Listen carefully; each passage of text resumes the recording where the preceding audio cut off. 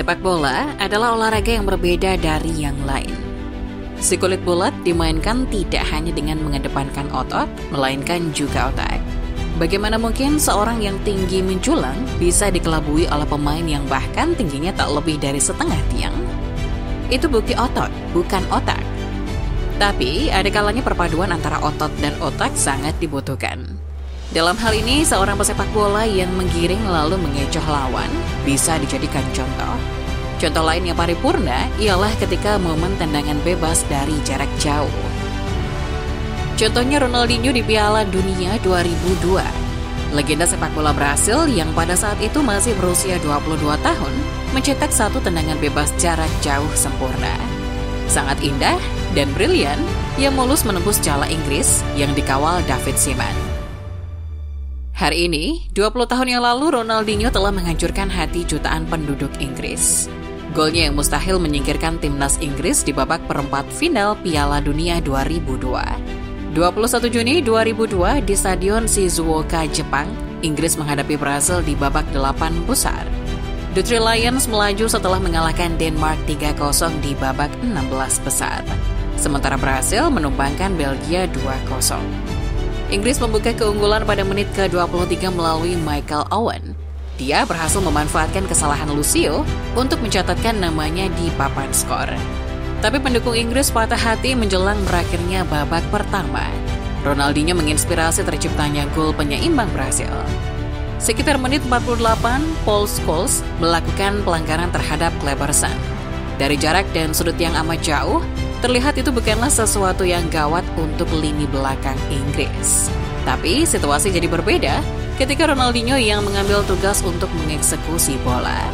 Kemudian Ronaldinho mencetak salah satu gol paling berkesan dalam sejarah Piala Dunia untuk menghancurkan Inggris. Ronaldinho sempat mempertahankan argumentasinya tentang gol yang indah itu. Dia menyatakan bahwa memang sengaja mengarahkan bolanya ke gawang, bukan berniat untuk memberikan umpan.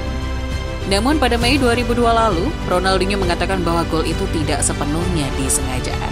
Tidak, itu tidak disengaja.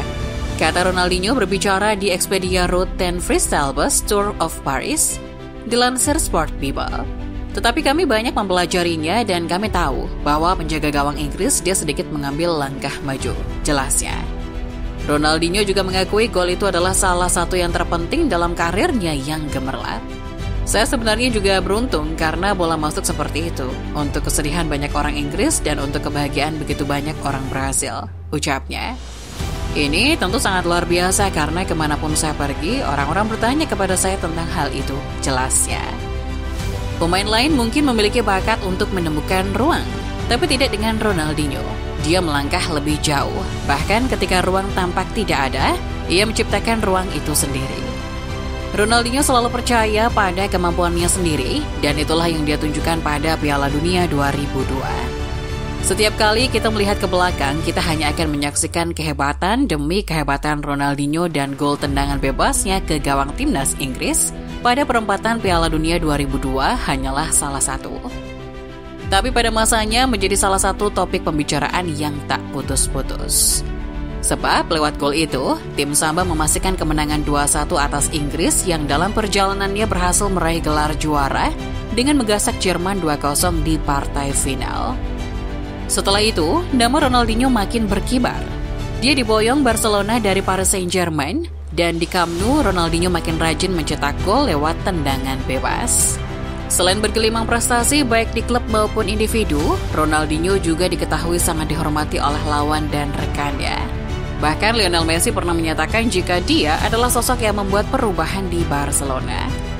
Zinedine Zidane dan mendiang Diego Maradona juga menyatakan jika Ronaldinho adalah pemain terbaik di generasinya. Cara bermainnya membuat banyak orang akhirnya jatuh cinta pada sepak bola. Sejak memutuskan untuk kembali ke Brasil pada 2011 lalu, sampai sekarang sangat sulit menemukan pemain yang bermain seperti Ronaldinho. Tanpa beban, dan terlihat sangat ingin menghibur para penonton yang datang ke stadion maupun yang melihat dari layar kaca. Terima kasih sudah menyaksikan Starting Eleven Moment. Jangan lupa like, share, dan subscribe channel ini. See you!